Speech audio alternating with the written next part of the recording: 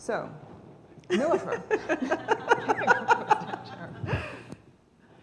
I read your book last night and uh, the past two days when I was sick with the stomach flu. So it was a really memorable experience for a number of reasons.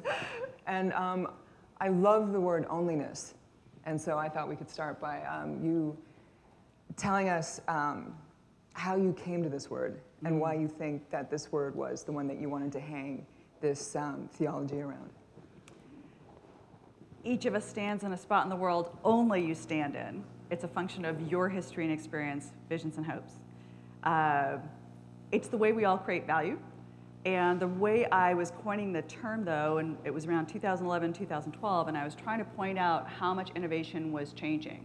It was going to um, ideas, the economy was really being fueled by ideas, and moving away from having an organizational demand or needing capital. And so I was like, well, I, I couldn't find a word. Like, for example, like words I was using to try to describe this economic shift were things like talent.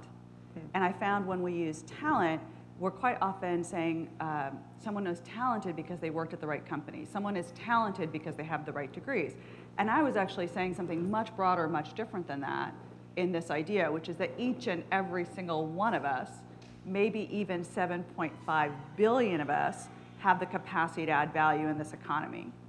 The fact that we don't yet is our greatest problem and also our greatest opportunity. So I was trying to figure out how to coin that. So onlyness was this idea that in a distributed networked world, ideas finally had a shot. Mm-hmm. That for thousands of years, most ideas have not had a shot. Mm-hmm. Uh, if it came in certain packaging, if you were especially young or especially old, uh, in any designation, right? Um, or if you didn't look the role of a traditional power player, uh, it could easily be um, you know, the idea itself could just be dismissed based on who brought the idea. And so if I, I was basically trying to find a way to coin that term. So totally an economic term, and in fact, uh, I wrote it in the context of a business book that Harvard published. And then I was like, done. I thought that was good. You know, oh. clarifying the entire universe in that thing. And then it turns out not really clarifying because how do you operate mm-hmm. in this new world? And that's what led me to pull on this thread and, and mm-hmm. explore actual stories of people doing it. It's interesting that you put it that way because um, so many people now say, you know, tell your story, tell your story, particularly to women. It's like, tell your story or somebody will tell your story for you. And mm. you have the expression in the book, um, code or be coded, yeah. which um, to me is kind of like the similar line. But nobody really tells us um, how to tell our stories or what it really means to tell our stories, like within this kind of context. Um, was there a moment for you when um, you felt that you yourself were like the embodiment of, of this issue with like getting your ideas heard. So I know you mentioned in the book that uh, you had an issue with uh, a mentor who didn't quite get it. Yeah. And, uh, and um, told you that you had to be edgier. Right. So uh, the, the, I had turned, in fact, in naming that second book, um, I had turned to someone who had many best-selling management books and really pithy titles and such, and said, um, you know, would you mind helping, because you seem really good at it, would you mind kind of helping me brainstorm um, how to frame this question? And I'd sent him some content. He said, of course. And, uh, and we met at the end of a workshop day, and um, everyone else had left. And he says, as a brown woman, the chances of your ideas being seen in the world are next to nothing. For you to be seen, your ideas would have to be a lot edgier but if you were edgy, that group of people that you're trying to influence would find you too controversial. And so, and I remember just because there was this long pause, and I'm like, please turn the direction of this question, right? Um, long pause, and to repeat, that so your ideas will never be heard in the world. And uh, I remember because right afterwards I ended up going to, you know, there was like some dinner and people were meeting up for drinks and stuff.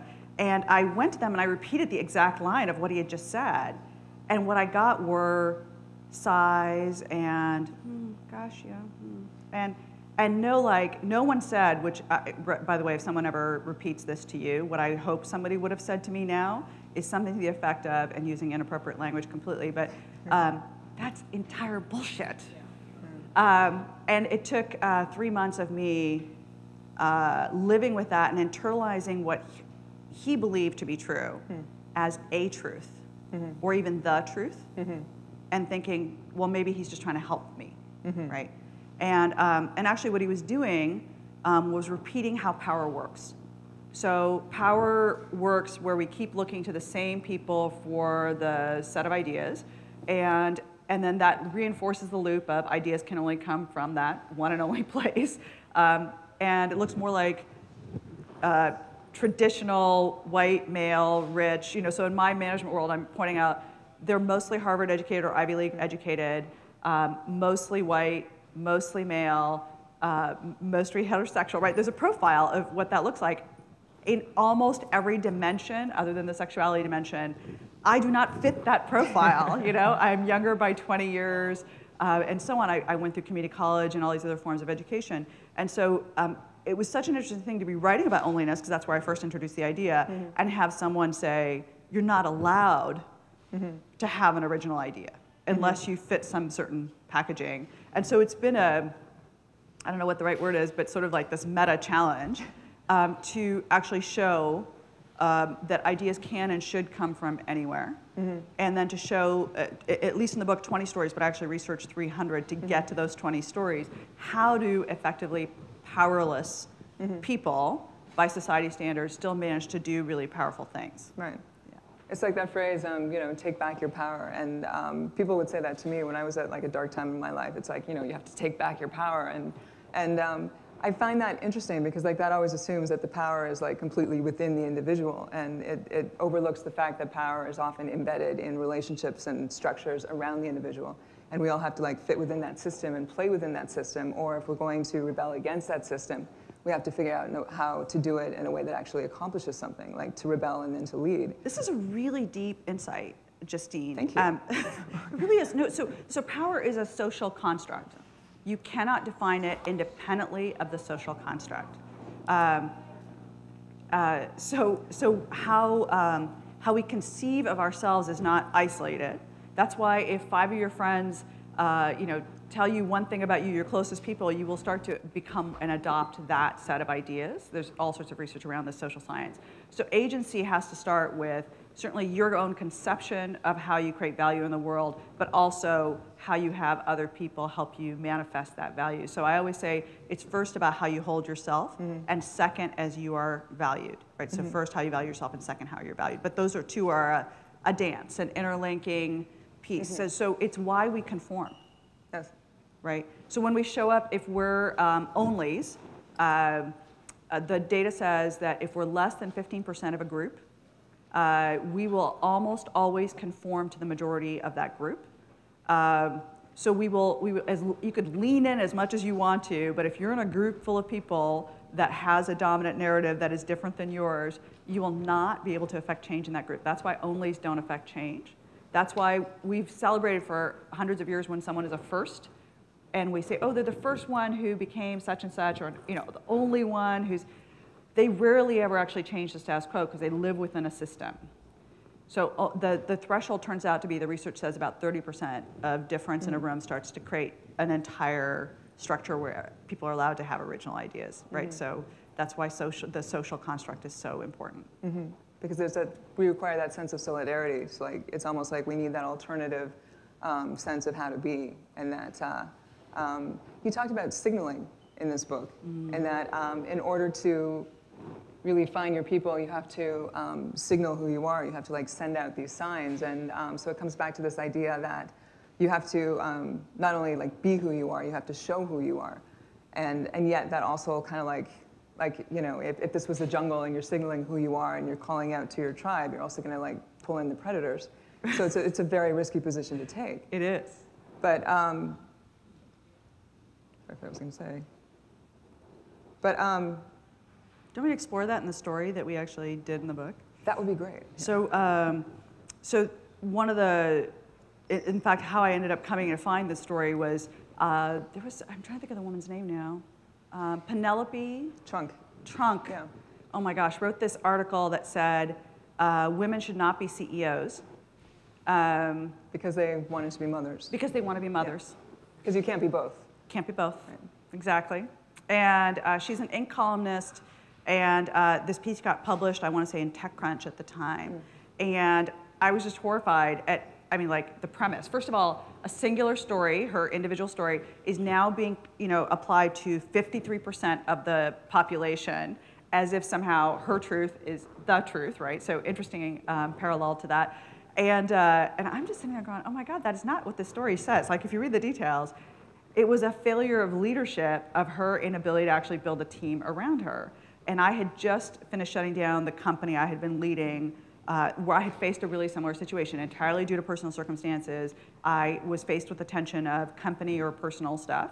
And uh, the business was doing fine. I was really happy. My whole identity was really tied with that company.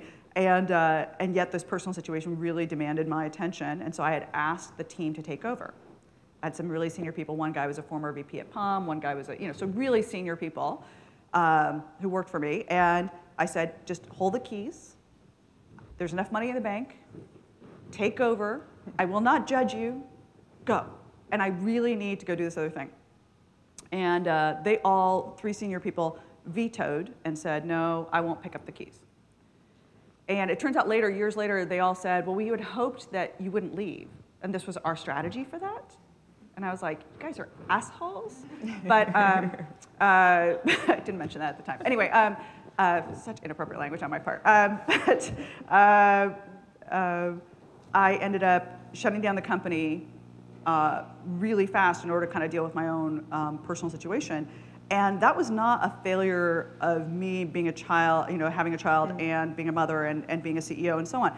It was that I had not built a leadership team behind me that was ready to take over, right? It was mm-hmm. purely a management problem. Mm-hmm. And I had not planned on leaving, so I had not done the right um, uh, sort of succession planning. And yet, so, so the reason I'm sorry, that was a long story. Um, and, uh, but I end up writing a post about it. And on it was Saturday morning, I see her piece, I write a piece on it, and um, this woman ends up reaching out who's an entrepreneur um, originally from Canada, who says, I've been following this dialogue online. I really thought your piece was instructive. This is Rachel Sklar. Rachel Sklar. Rachel Sklar. Who ends up writing me the story. We end up forming a 500 person, what's called the list, of women trying to change the ratio of women on boards, getting funded, et cetera. If I hadn't written that little signal in the sky and she hadn't been seeking who else is interested in this topic, we would not have found each other, right? And so at the time, what it looks like is I'm sitting in my pajamas. I could just as easily have been like, whatever, this, this article's cray, and ignored it, right? But what I was saying is, no, actually, I think it's wrong, and it's a wrong premise for it to be out there like this without some more challenging. So, you know, I want to at least address that question. It gave me a chance to process. And it caused a whole series of other community things to happen. And so the predator point, though, is really interesting. And Rachel, actually, as the champion of the list, is then trying to change how Silicon Valley works and how funding works and stuff. And she's really challenging Silicon Valley. And at one point, Michael Arrington and uh, Sarah Lacy and a bunch of other people invite her to a conference with the premise that they want to listen to her. And they, if you find the video, and it's, it's footnoted in the book, um, they just attack the hell out of her for like 45 minutes and basically say, you're a, what was the word, interloper. You're an interloper in our environment and dissed on her for, can you imagine being on a stage with like a couple thousand people following you, getting dissed? And, uh, and I tell the story, and in fact, one of my friends who had read the early draft of the book said, This story scares the heck out of me. You know, like, why would anyone ever want to raise their hand and be a change agent if you're going to get attacked? And so I added this one little paragraph of this is not meant to scare you, but to warn you that this could happen because anytime you're creating change, you're challenging the status, status quo, mm-hmm. which means, by the way, every person in the status quo mm-hmm. will not actually appreciate that, right? Because mm-hmm. their world is going to be dented. Right. Yeah. Why do you think they are so threatened by quote unquote interlopers? Like, I find it interesting that they would. Um, use the word interloper as like this insult as a way to shut her down when really all it means is that well you know you're, you're a stranger and you've wandered into our midst yeah. So like you know they could have just said well sit down have a cup of coffee and tell us your ideas and tell us what you see from the outside. But there was like but the the um, reaction instead is to to cut her out of the picture or at least to try to. And so power preserves power. Yeah. Right? So um, all the um, research around gender stuff that talks about power uh, I'm sorry, all the stuff that says, you know, like uh, how women affect change Mm-hmm. really l- makes it look like a gender issue. It's not. Mm-hmm. All issues are about power issues. Who is allowed to have an idea at the table? Because power either um, liberates your ideas at the table because they're heard, or they limit. And so your own power of what you have going into that room determines quite often whether or not that room even hears you, right? Right. And so, of course, she had no power, Right. according to the power mongers, the VCs, the journalists, et cetera, who, by the way, this is their turf. Yeah. And you're walking into my turf. Why would I want you to walk into my turf? And by the way, what you're doing is calling us out on the fact that less than 4% of all the money goes to women and people of color, mm-hmm. which is limiting the set of ideas that we're producing in our mm-hmm. economy, which is limiting the kinds of solutions we have. Rachel's basically busting them mm-hmm. on being myopic. And these are people who, by the way, pride themselves on changing the world Yes. right? So Meritocracy. meritocracy. So they believe a series of things that are not true, and that's that's how, and so any of us who are going to be change agents, it's a really useful thing to realize that's the headwind that we're going to have to face. Is recognize we're going right into that headwind. It's kind of like that video, and you referenced this in the book. Um, I think it was David Sivers, um, the one about the. Uh, he did this very short TED talk, and he shows this video of um, a man dancing by himself on a hill. Yeah. Is that what it is? Yeah. He's dancing on the hill, on the hillside, I guess, at, at, a, at a concert, and all these people around, and they're sitting, and he's like, you know, boogie woogieing, and you know, he kind of looks a little freakish. A little cray. Yeah, yeah. And uh, but you know, he's totally into it, and he's willing to put himself out there and to look like that. And then a guy gets up and he joins him. And, the then- two actually get into concert together. This is right, incredibly in important. sync, yeah. And they so the, the first one changes his dance style in order to get in groove with the second one. And the second one now starts, they're now starting to act in concert. Right. And then a flood of new people start to come, who, by the way, had been watching for a really Right. long time. Um, the second person is the one that makes it safe enough.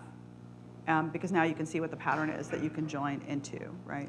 And so it's not just the, I mean, the, the first person who gets up and is willing to put himself out there and he's willing to kind of make himself a target, but it's also the second person too. Like that, it, it takes courage for that um, first follower. Right. So this is where onlyness is not about only, right? Yeah. So onlyness, it- it's we're not adding nuz to only and saying more of you, because that guy dancing at first, that crazy dancer guy, um, we're not saying dance harder. That's not what this is. This Well, is a, I'm saying dance, but you might not be saying dance. So, we're, we're adding the second dancer and saying, how do you start a movement? Um, because that second dancer is now changing the first dancer's style so that they're now in unity about what's the dance we're trying to do. You see where the parallel holes, right? And then a whole bunch of other people can come and join in to make that a movement. So this is where onlyness is about how do you come together around shared ideas. Ideas being the new organizing principle. So the organizing principle of all value creation for now hundreds of years has been this money, organization systems. It's not been about the ideas. That hasn't been the ball that we've been running down the field.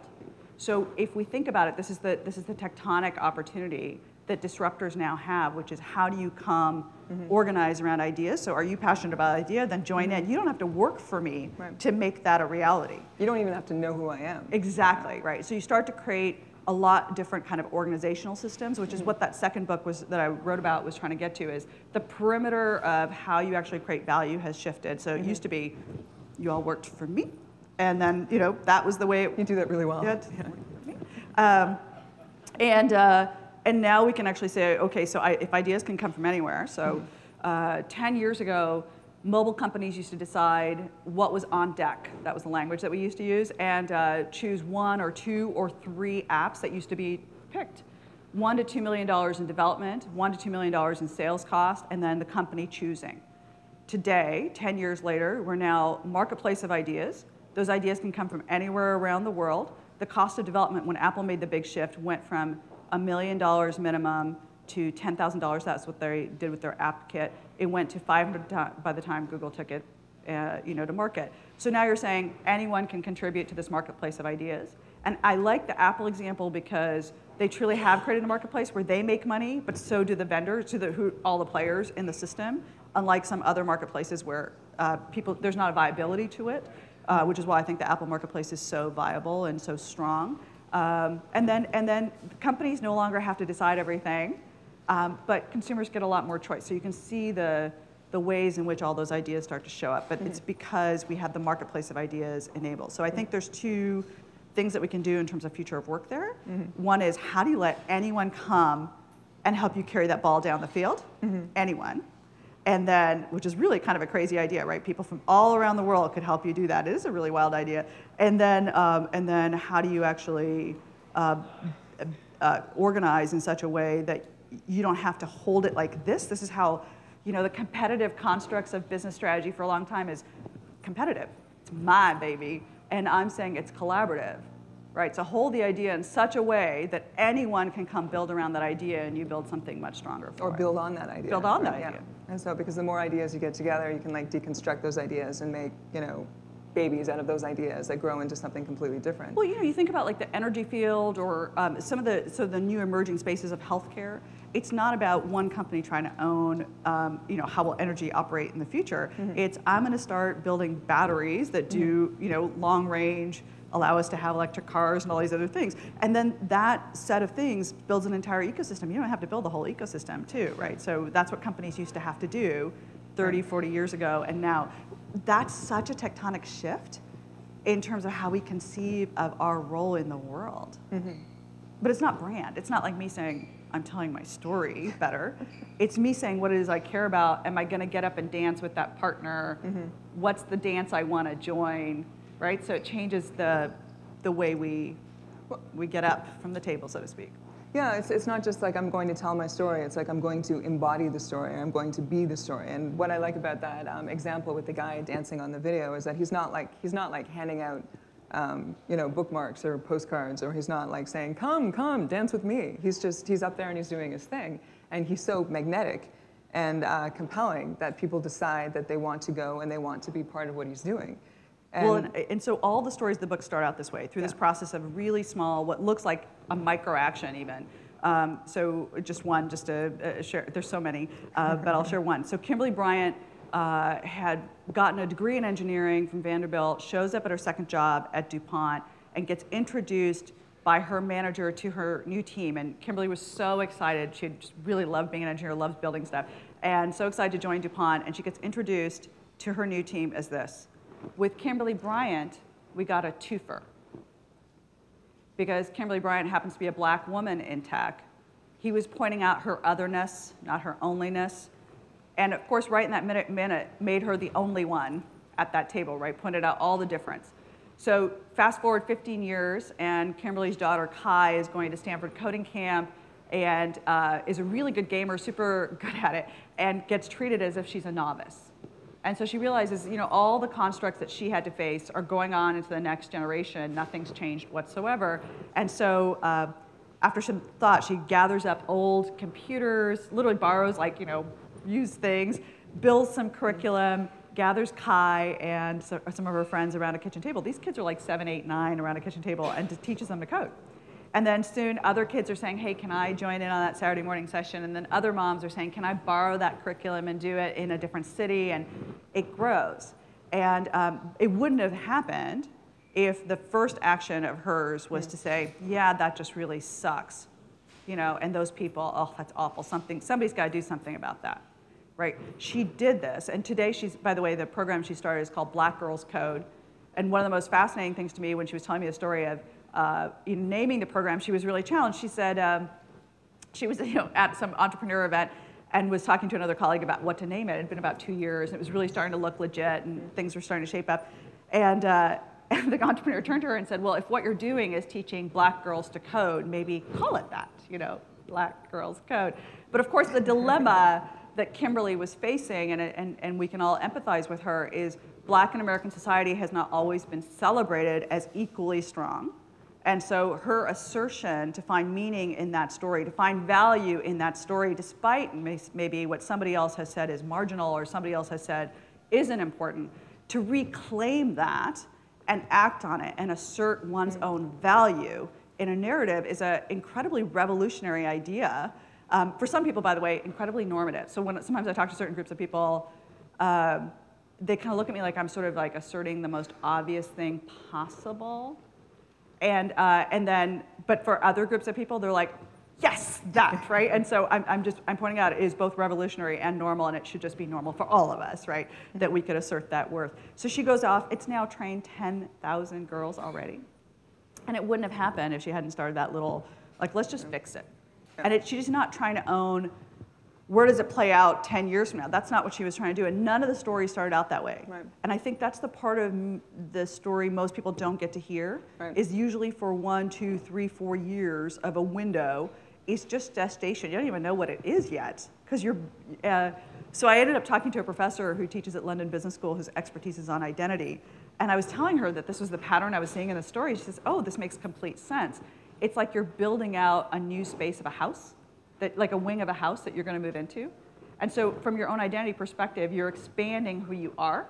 And so first you need to frame that space, maybe put up some drywall, maybe decide if it's safe to go in there. And as you're building it out, that scaffolding and so on is what you're actually doing is exploring whether or not that's a space you want to be in, right? Whether or not it holds you in a certain way. And I think that's a kind of a nice way of kind of thinking about it is that, but it will look, by the way, it will look messy and dusty and all the things that you would imagine in a home construction project, uh, you can imagine as your own identity. It is not exactly a neat, completed space at the beginning, and yet we mostly tell the narrative from the time of nice, completed, the remodel's done space. And uh, so I thought it was really useful and instructive to kind of go back into everyone's history and kind of picture all the dust that it was going around. And the nails on the pavement that you drive over and then you puncture your tire and you have, not that that ever happened to me several times, but um, I like Kimberly Bryant's story and I think she has one of my favorite quotes in the book where she talks about how um, Martin Luther King Jr.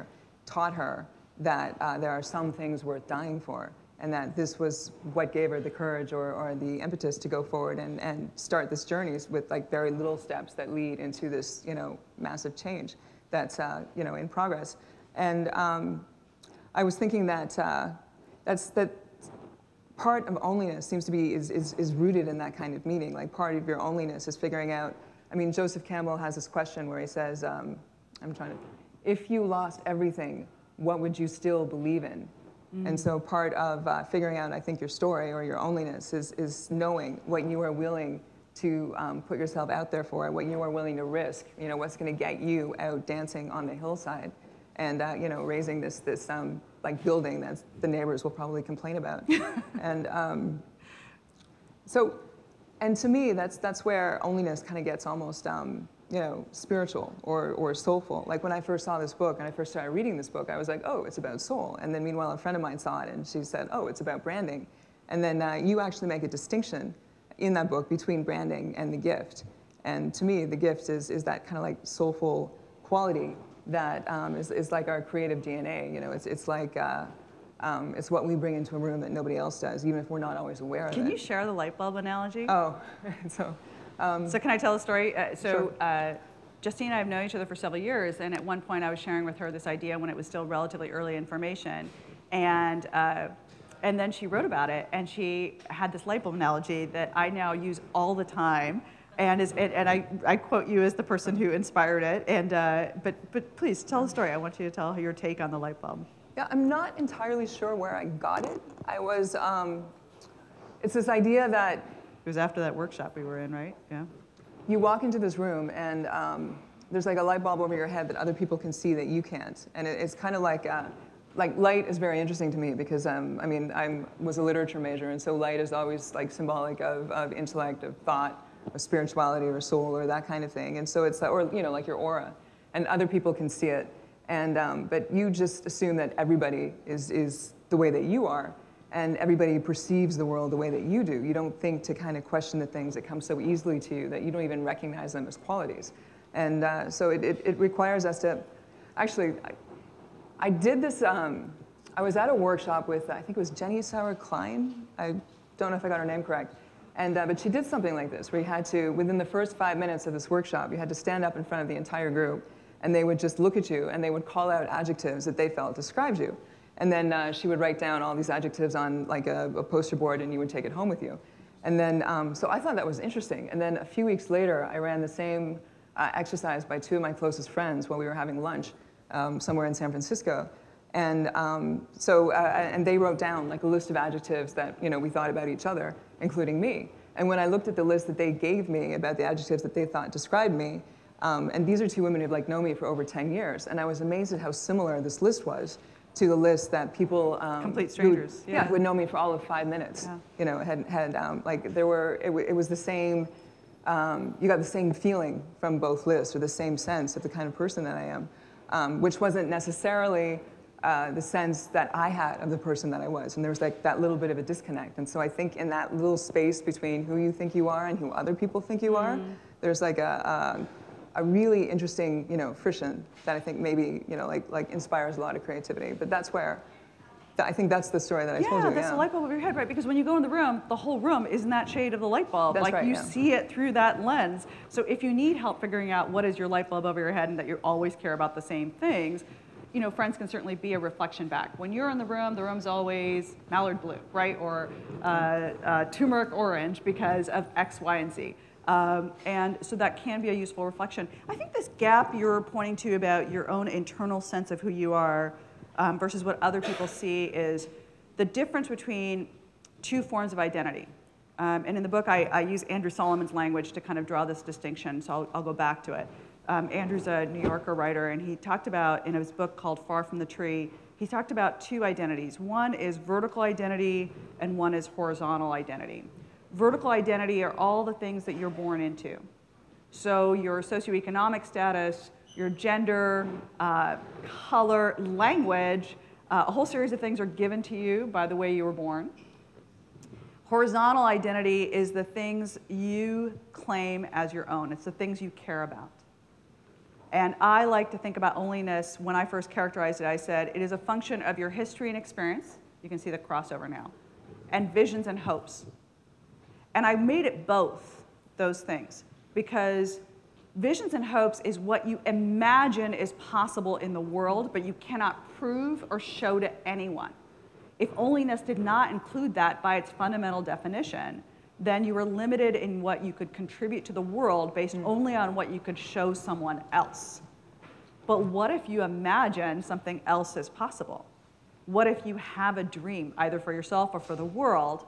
How would you hold that? Mm. So onlyness is the center, you know, centrifuge of your vision and your history and experience, as well as your visions and hopes. And it's that vision and hopes that, as you pull on that thread, pulls you into the future, right? Because all progress is born of new ideas. And so if we never even give ourselves permission for something that, by the way, we can't prove or show, we never get to pull on that thing that lets us create the future. I like that you use the word imagination and imagine, and uh, because I don't think there's really, I'm not sure that as a culture that we give enough credit and value to imagination outside of you know the arts and creative writing and, and those things that are, are you Or know, great inventors, right? Great, That's right. yeah, That's right. But it's it's um It's why we celebrate Steve Jobs. It's why we celebrate, you know, the, the Right. icons who are willing to go out and imagine a future that's different than what we see today. That's, that's right, because like, uh, uh, I once read somewhere that the mind, um, the mind isn't very good at envisioning a new future. What it does is that it takes the past and then it projects it into the future. And so we always think the future is going to be like the past, which is one reason why we tend to think that um, the future is not going to be much different from what we're living right now. Like, you know, this moment is kind of going to go on forever. I mean, ask anybody who's like suffering through high school. They don't think it's ever going to end. and um, Or any, yeah, Right. exactly, yes. so it's, it's, it's, but imagination is what um, allows us to transcend that because then you can imagine something new. You can see it. I mean, there's that saying, um, you have to see it to be it, but sometimes you can only see it in your head. But sometimes that's enough. And I think they're, they're you know, the, the inventors and the people that we celebrate are, are the people who um, are just able to project that so strongly into the, into the world around them that they um, almost act as if that is the world around them and they can somehow take that world from their head and, and you know, make it a reality that the rest of us share. Right. Even, so, yeah. so this is how we invent the future, right? Is we Right. imagine something that's possible and then we pull on that thread and that. So this is the one thing that that group of disruptors um, sees and, and values that we can all see and value. So that group of disruptors that, let's say you're at Stanford Business School, so I'm just going to use an example that's close to home for me. So if you're at Stanford Business School and you have already gotten that set of credentials, um, you have a group of people, venture capitalists, listening to your pitches, et cetera, and saying, yes, you're allowed to be a disruptor. I expect you to come from here, especially if you look and feel a certain way. And what I want us to actually get is what they have is an ecosystem that says, I expect you to have an idea. I expect you to have something to contribute, right? So we can actually recreate that for ourselves. This is where onlyness, the power of the distributed network is so important Because even if the people in your old, you know, like 20 years ago, we couldn't have done this. Mhm. We couldn't have stepped outside our city and our the like, circumstance to be able to say, who else cares about the same things as this? And find those people. And so when you can build either a virtual or real community, you know, like in real life community, both are real, um, uh, that's how we actually have people around us to say, yes, I see you, and I believe in your ability to actually have that bold idea. And I'm getting the sign that we should go to Q&A. Is that, yeah? okay. Um, so that's, that's the thing that we can actually take more onus of. So recognizing to, to Justine's point when she raised it earlier, power is a social construct. So if you recognize that, then you can actually build the social construct that enables you to take more risks and be bolder in what work you can do. And I just wanted to add that um, when I was reading this book, I was thinking of a phrase. Um, I, I, picked it from another book, and I can't remember which one, but well, I'm sure it's from several. But um, you know, inner wealth as opposed to external wealth, and they, this idea of inner wealth and inner authority. And so when you look inward, um, like you know, to your imagination or to your soul or to whatever you want to call it, then you can find the authority there, the power there to to you know step forward and be the one who dances on the hill. Mm-hmm. But that has to, at some point, you know, you have to turn away from all the voices um, uh, around you that are telling you, you know, you have no right to develop this idea. You have no right to be what you want to be. And, um, and, and so when you, when you reclaim yourself, then uh, you reclaim this ability to reshape the world. And I think that's why this book is incredible. And I hope everybody buys it. so. Should we do, uh, we have a roving mic, right? Yeah. That time when we take questions, just a quick reminder, questions around here start with a W or an H, sometimes a D. They typically are short. Only Justine gets to ask follow-up questions, and we do not believe in two-part questions. Thank you. Hi, I'm Robin Palmer. I started on Broadway for 15 years, and I became an inventor. And as a woman with a hardware I IoT product that just had a successful Indiegogo campaign, I've been contacted by predators from, as seen on TV and other places, where they say, we love your invention. You can either license it to us or we'll steal it from you. And we've got billions of dollars, and you're a small woman-owned company. How do you protect yourself against that? um, so I think um, the incubators uh, are often really great places to have uh, resources around you. So I don't know if you already belong to some kind of incubator accelerator community. And so those are the right places to turn back to and say, protect my own asset, right? Because those they've actually dealt with this problem multiple times. You don't want to do it on your own. You want to build. You want to go find a community of people whose interest it is to help you be successful. Um, so I would turn back to those uh, communities because they typically have handled this problem before. Would you say that's where branding comes in? Like if you can create the story or this community around the item, so then it's no longer about the, the invention, but it's about something larger. It's about like a yeah. movement or it's about. So like Wildfang, which is a brand focused on sort of the tomboy um, fashion segment. Um, Wildfang, right? So the notion of um, wild one, like a you know beast that is mm-hmm. uh, uh, out there. And um, they actually had a whole bunch of stuff stolen from them IP, and I want to say it was like Forever 21 or whatever tried to basically duplicated the pins, duplicated, you know, just a whole series of things. And they did a digital outreach to their consumers, right, just on Facebook. Like, look at our stuff, which by the way has been around for years, and look at this stuff. And then they had their consumers actually send emails and you know do stuff to basically be like, uh, uh, uh, uh, uh, we see you. So there's you're using your community to basically shame people into much better behavior. I'm not sure that's as possible in the space you just talked about, which is why I would turn back to community models that are there for you. Turn to community, right? So to, to, yeah. to be, I, I'm not sure it's about outspending because you really can't outspend, yeah. but you can ask people to come be with you in solidarity. And just to add, like that's the, the notion of the connected self. We were talking about this earlier, where um, when you when you claim your onlyness, you are also like uh, uh, connecting to other people through your onlyness. The onlyness becomes this link to other people who believe what you do and who right. are willing to support you. Rooted in your meaning, you end up finding other people who care about the same yeah. thing. Yeah.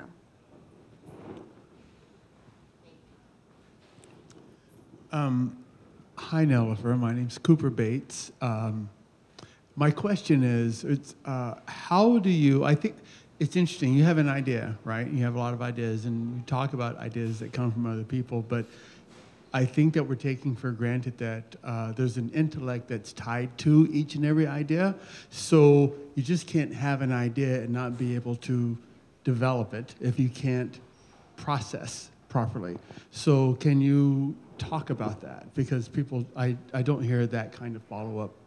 You mean, are you owning the execution of the idea? Is that the question? Yes, and being able to like think about like you had this idea for onlyness.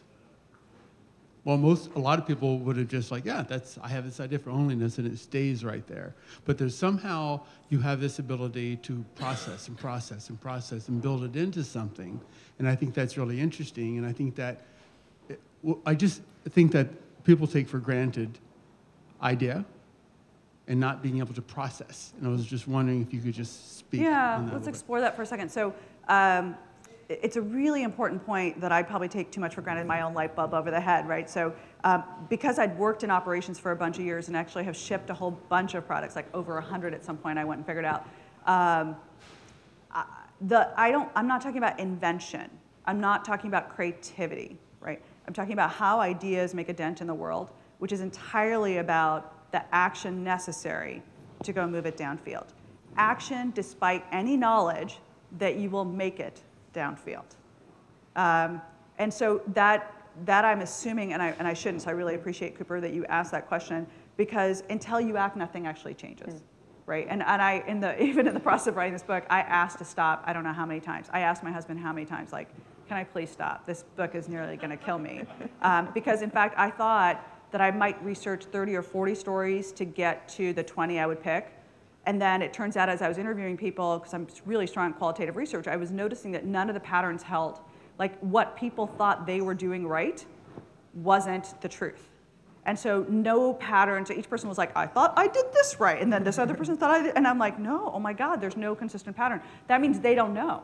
So they're all pioneers, they don't actually know, which means I'm gonna have to spend time talking to a lot more people to figure out what the hell they did do right when I could spot the pattern and then decode that and find the social science behind it. So it was a really long and complicated, like way too long, way too complicated process. Um, and, and extremely difficult for me because I had expected it to be a year to two years and went to almost four. Um, I then really wanted to tell stories, which I had never done before in my career. Uh, and writing stories is its own. Justine's actually quite good at storytelling. I would never have said I was good at it. And at one point, I had finished a 120,000 word manuscript. So it is sort of done. And, uh, and I looked at it and thought, there's no, there's no heart, there's no stories. Like it didn't pull me in. And I completely started from scratch. I threw the entire first manuscript away, um, which was devastating to me. Like I was like, what crazy person am I? And also, like, I really did turn to my husband in tears and say, I don't want to, I don't want to do this anymore. And he actually said I would be such a bear to live with that I had to finish. That, uh, you know, in his mind, this was the idea I was born to, to do and stuff. And, um, and then he said, the only way you will ever know whether or not this idea, and because also the other part is, will this idea be accepted? Will it be, you know, will it get reviewed? Will it get all this other stuff, right? So I can go own the outcome of that also and be like, oh, it's never going to get, it's going so against the status quo, blah, blah, blah. What is the point, right, of all this pain? And he was like, because it's something you believe in. So it's an interesting thing to have then found 300 stories and written the 20 of people who basically, in spite of any knowledge that any of that stuff was going to work out, uh, pulled on that little thread. And instead of the world unraveling, they found themselves even more deeply connected to the world.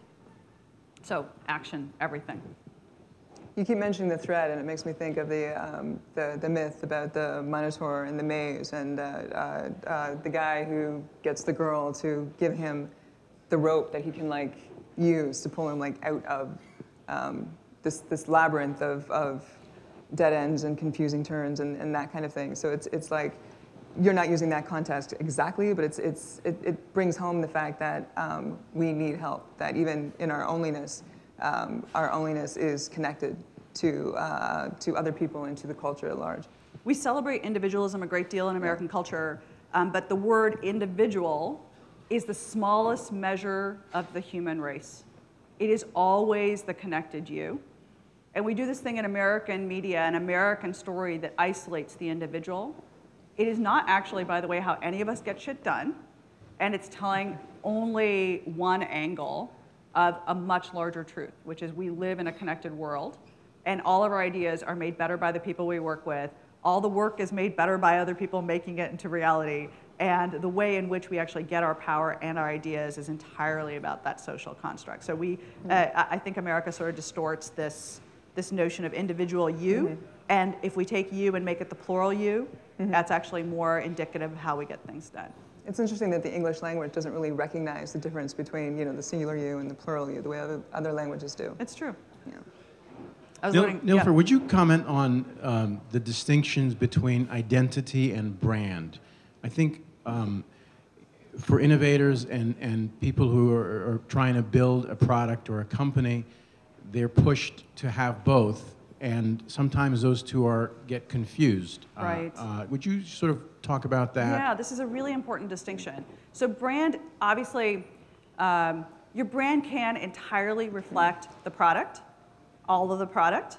It can also be the packaging of the product, right? So, um, uh, all of us have probably gotten Christmas presents where there's this tiny little thing inside a huge box and a big bow, and, and been like thinking it's like a big thing, and we get inside, it's this tiny little thing. and It doesn't reflect the interior. It's a gift card from Starbucks. Yes, exactly. And we're thinking, you know, it's a jewelry box or whatever, right? So, uh, uh, so packaging can be a reflection of what's in the interior, or it can be a deception of what's in the interior. And I'm much more interested because this is about the power of ability to get something done, about what is in the package. And I'm less worried about the packaging of that. That's the distinction I would make. So, brand is the exterior view, identity, as we hold ourselves in the world, is the, the product part, The gift. the gift. Yeah. yeah, the gift. And by the way, that gift is not perfect. So, we can be broken in a thousand ways. Um, a function of our history and experience is not to say our experience has to be perfect. Um, I had a banker recently tell me um, that they had an idea for a product line for what could be what that bank could serve, but they couldn't bring it up at a meeting. And I was like, really, why? I'm, I'm surprised. You seem to really have a good relationship with your colleagues. And, uh, and they said, well, the reason I really understand this need is because I was raised extremely poor. And so our family lost quite a bit of money that we earned because we had to go to check cashing places that essentially gouged you. And I have an idea for how to do that in a much more economical way and really be in much more service to that community. But I don't, no one here that I work with knows that I grew up poor. And they're all extremely wealthy when they grew up. And I don't want to reveal that to them. So she viewed a part of herself, you know, through the shadow, right? She was basically saying this is not legitimate because this group of people is so different and that is good. Instead of what was her real life experience, instead of celebrating that. So when I say onlyness is a function of your history and experience, visions and hopes, it is all of you, even if bad things have happened to you, even if you've been a function of you know, circumstances that are not the storybook circumstance, that too is a strength, right? So owning all of that. Often you develop strategies to, uh, to get through those obstacles and to, to deal with that kind of trauma. And you can take those strategies and you apply them to other areas of your life. And sometimes that strategy is actually the gift. So a gift. I've always been intrigued by that connection between you know, the gift and um, the wound. Yes, yes, it's beautiful language. Hi, Nilofer. Hi, Justine. Um, I just wanted to let you know that this book, I just, I just like, I don't know, I just, I feel like it's probably one of the most powerful things I've read, um, and something that I wish I'd had when I was a student in college, trying to find her way. Um, and yeah, I'm just, I'm just really glad that I just like read this book because I can just see it playing a very pivotal role in just how I live my life and try to be of service to the rest of the world um, for the rest of my life. So thank you for that.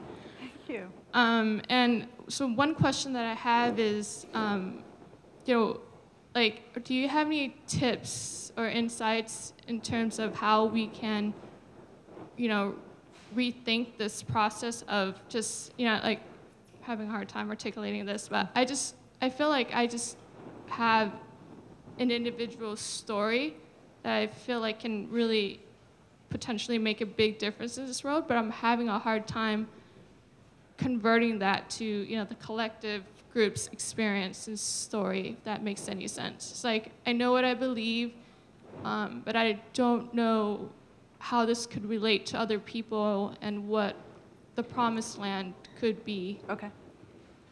Thank you. Um, by the way, thank you for the compliment. That's really nice of you. And then um, I think the thing you're saying is, what what thing do I want to work on? you didn't quite say it that way, but I'm going to take you that way, and then you help me see if that helps. So we can care about a great deal of things, like um, you know, I can care about um, criminal incarceration issues. Uh, I can therefore care about who, who's running the local DA's office. I can care about data systems and how the internet is more open to all. And I also know strategy really well. Like I can know all those three things at the same time. And then I have to sit there and go, okay, where do I want to invest my time to make a difference in the world? What's the dent I want to make?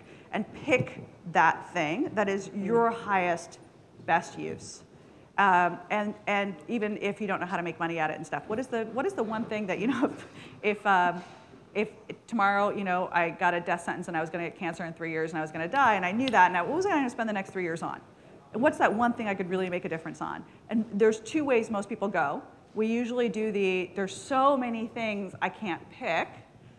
And then I get this a lot, which I, am always surprised by, but I, I hear it, which is, I don't, I don't feel anything. That doesn't seem to be you your problem isn't that you don't feel mm-hmm. anything. You actually seem to have like, you know, passion there. So the thing is, where would you most want to apply your energy? So just, you know, if you pick up the paper tomorrow and you go, what are the stories mm-hmm. I'm super drawn to and think that's a problem?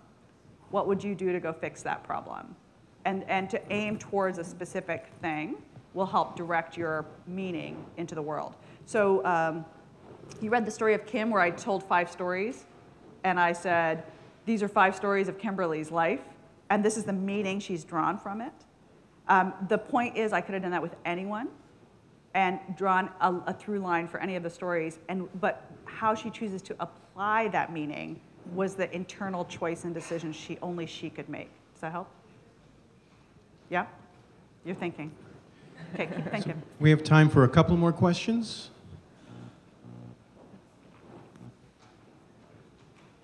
No? Oh. And uh, so here, let me ask you something, uh, yes. uh, Nilofer. Um, so you wake up in the morning. What are like the first few things you grasp for um, to sort of kindle that idea generation process? Is it a newspaper? Is it the news? Is it meditation? What is it? Yeah, I'm not a meditator. Um, you probably figured that out right away. Uh, uh, the uh, I wish I was, but I'm not. Uh, I am a really big news junkie. Uh, at Twitter, back in the early days, I was one of those people. That, it was a lot more fun before November 9th uh, to read Twitter, but, uh, but I would be, you know, in 15, 20 minutes, like really feeling caught up in the world and uh, digest news and then moving on to email and then moving, you know, so I, I really fast reader, fast digester of information. And then I usually have one or two projects on my plate at all times uh, that, that, that are just like, this is it, this is the ball I have to move for the next year. And I usually have one thing already identified the day before that I need to do that day. And I just charge into that. Um, I like getting kind of like orientation about what's going on with the world, because almost always I have some inspiration from that, some little nugget. Um, and then I, I figure out how to apply that. Um, but yeah, I, I kind of, my husband sort of like, aren't you the, you know, don't you wish you were like a quiet journaling person? I'm like, yeah, I'm not that person. Sorry. And our final question for the morning? Can you speak to the special challenges of introverts in, in a space of onlyness? Right. So, um, in fact, uh, you know, onlyness got compared to Susan Cain's work, who wrote Quiet. Uh, 800 CEO Read, which is a which is an organization that does reviews mostly for the business world, um, compared it to two other books. So it's interesting that Daniel Goleman's coming into town, Ted. Um, so compared to Daniel Goleman and said, you know, before his work, we used to think of intelligence only as that intellectual IP stuff instead of E, um, emotional intelligence. So that expanded the universe of what we did. Susan's work really expanded to understand that the quietest person in the room might be the best problem solver, and maybe we could tap into that. And, um, and, then, and then onlyness is making an argument that every single one of us has the ability to create value. So we're just expanding how we view who has the capacity to contribute in each of these apertures. Um, so going back to the introvert piece and onlyness, um, I think the, the big piece is how do you figure out um, how to draw energy? So this morning, a girlfriend who is a former Startup America executive and stuff wrote and said, I can't decide if I need to spend more time with my tribe or less time with my tribe because her parents are uh, just passed away and she's dealing with a lot of life transition right now. And I actually wrote her right back. It's funny you asked that question. uh, I wrote her back and I said, Do you remember if you're an introvert or an extrovert or an ambivert? Because under stress, which is what's actually going on for her, you need to make sure you fill up the bank again. If you never fill up that bank again, you can't have ideas, you can't act on those ideas. So remember which one you are, just triage back to that and make sure you're doing that. So if you are an extrovert and you're exhausted, then go be with people because that will renew you. If you're an introvert and you're exhausted, sink deeper into yourself and figure out how to be in that quiet reserve to fill your own bank. None of us can actually create work in the world if we haven't filled up that bank, right? So I think the big question is just knowing your own style and knowing how to navigate your energy flow around that. I'm an ambivert, so I really prefer quiet most of the time. And then, as you can tell, mm-hmm. I show up in the world mm-hmm. and, uh, and try to share the things that I'm working on. But if I don't balance that two things, like if I was on the road all the time right now, I- I would lose my mind, right? So that mm-hmm. incredibly quiet space is my way of kind of pulling back in. And so you can't draw your own capacity to contribute if you have nothing in that bank. So that's how I think about that question. Helpful? Cool. All right. Great. Thanks a lot, Nilofer. Thank, you, Justine. Thank you all for being here this morning.